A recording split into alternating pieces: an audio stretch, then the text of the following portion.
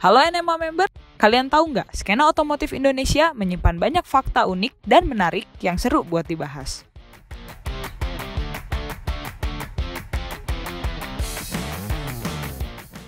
Nah, lewat program NMApedia, kita bakal mengulas beragam informasi dari dunia otomotif dan modifikasi. Selama beberapa menit ke depan, saya, Putri Kintan, akan menampilkan aksi gokil dari para drifter Indonesia yang sukses mendulang decak kagum jutaan pasang mata di media sosial.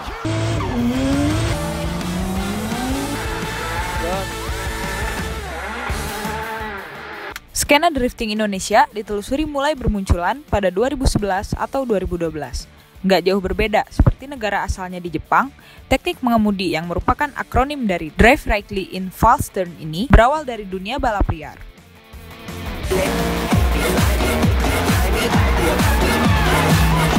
Kemunculannya disebabkan dari keterbatasan tempat latihan, mobil yang proper, dan kompetisi untuk menyalurkan kepiawaian memeragakan teknik freestyle satu ini. Pengemudi berusaha membuat agar mobilnya berada dalam posisi miring dan meluncur selama mungkin.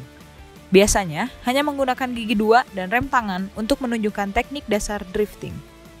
Drifting juga punya sisi menarik yang menjadi daya pikat dari kelas motorsport lainnya.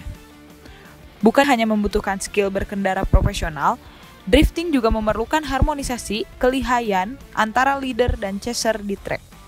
Tapi di luar track, ada banyak lokasi buat memeragakan aksi drifting.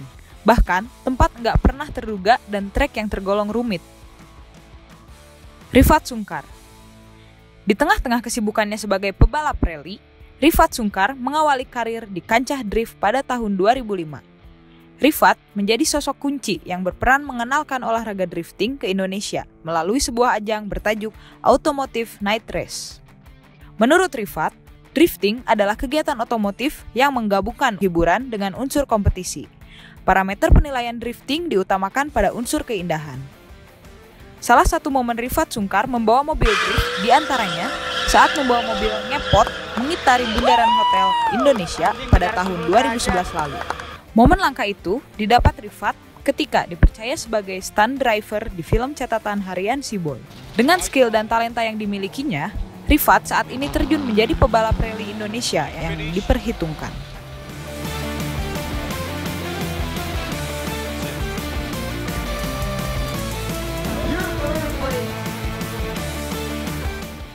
Sebelum menjadi influencer otomotif seperti sekarang, Dipo Dwiki dan Zico Harnadi merintis garasi drift dari sekedar mengisi waktu luang. Pada tahun 2017 lalu, Ziko yang masih duduk di bangku SMA dan Dipo yang tengah kuliah mendapat inspirasi dari tayangan video YouTuber seperti TJ Han, Drifter Ryan Twerk, dan Chris Forsberg. Buat Dipo dan Ziko, munculnya kanal YouTube Garasi Drift jadi medium untuk mengabadikan momen keseruan mereka membangun mobil di garasi. Kesuksesan awal Garasi Drift bermula dari video berjudul Ngedrift di Rumah. Dari sinilah mereka mulai dikenal sebagai drifter dan content creator. Nah, pada Mei 2022 kemarin, Dipo pernah ngedrift di lokasi wisata Bukit Sibeabea, Kabupaten Samosir, mengandalkan Nissan Silvia Mona Lisa. Aksi ini terbilang rumit, melewati kelokan ekstrim dan menanjak. Tapi, berbekal pengalaman dan skill berkendara, Dipo dapat melahap tiga tanjakan dengan mulus. Akbar Ais Awal mula Akbar Rais mengemari skena drifting berawal dari mencari informasi di laman internet. Beberapa aksi video drifting ditontonnya, termasuk film The Fast and Furious Tokyo Drift.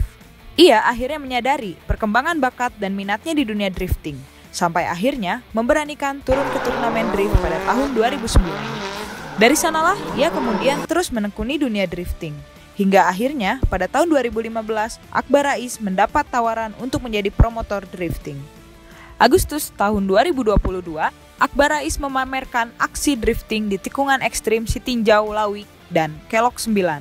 Diakui Akbar Rais, aksinya tersebut dilakukan di luar rencana. Awalnya, para netizen mengirimi DM Instagram menantang Akbar Rais ngedrift di Sitinjau Lawi saat tersebut. Dalam tayangan video tersebut, ia beberapa kali melakukan percobaan, sampai akhirnya ia berhasil mengepot dengan mulus di tikungan panorama 1 yang terkenal spot rawan.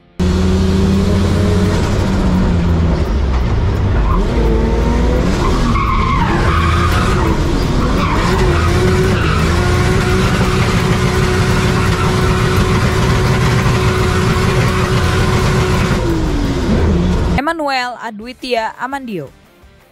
Ketertarikan Amandio di dunia motorsport bukan berawal dari drifting. Di awal karir balapnya, Amandio tercatat memenangkan juara nasional rally pada tahun 2005.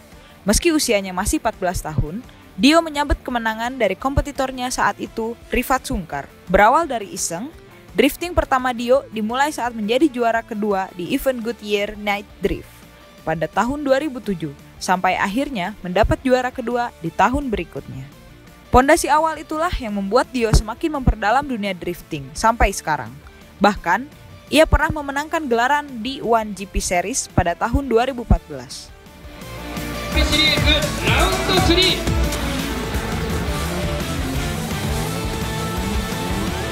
Aksi drifting Emmanuel Amandio dalam unggahan video YouTube di kanal Amandio 55 menjadi sorotan menarik bagi para car entusias. Dio membawa Nissan 180 SX andalannya memberagakan aksi drift di pekarangan rumah.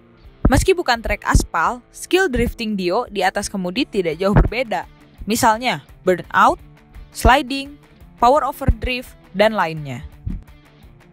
Trek tanah, rumput, atau jalan berkerikil menjadi tempat baru buat melakukan drifting. Dan ada juga scene mobil tengah melakukan donat sampai hampir menepis spakbor motor yang tengah terparkir. Tayangan video pertama yang berdurasi 5 menit ini sukses mendulang banyak viewers di YouTube. Kebanyakan dari para viewers berharap jika Amandio terus menampilkan video freestyle drifting dengan caranya. Bahkan, tempat-tempat yang dijanjikan oleh Dio nantinya juga dapat menarik promosi tidak jauh seperti yang sudah dilakukan Ken Block, mengekspos tempat-tempat menarik untuk video series Money.